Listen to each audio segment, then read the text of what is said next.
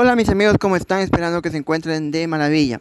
Bueno, estamos en una pequeña casa de unos amigos, venimos a visitarlos y miren lo que encontramos aquí a este pequeño animalito y está muy curioso al teléfono.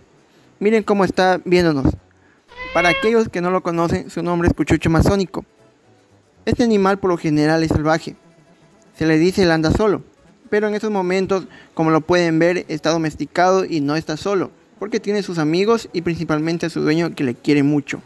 Pues lo tienen aquí como una mascota, se adaptó a esta familia y está muy inquieto y parece que busca insectos.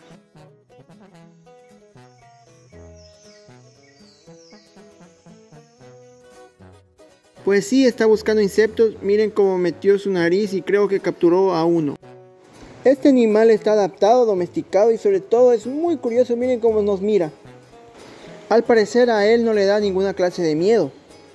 Pero la visita no era por ver a este pequeño roedor, que por cierto es un animal de maravilla, bonito y súper inquieto.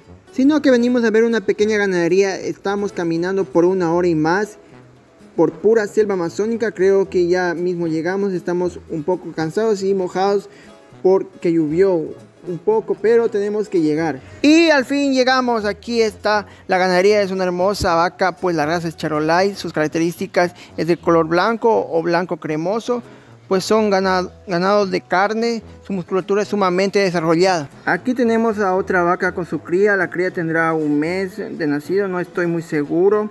Ustedes se preguntarán con qué clase de pasto se alimentan.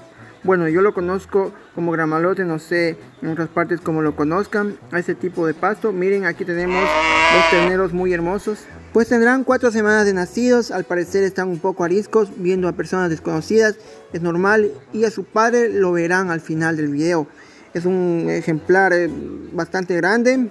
Bueno pues amigos, esto ha sido todo por este video. Espero que te guste y nos vemos en el próximo.